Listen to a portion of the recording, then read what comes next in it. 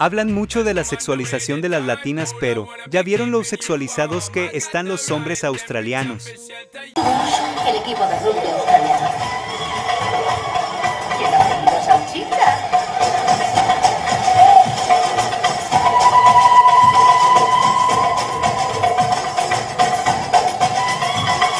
Podemos observar estas cosas tan preciosas.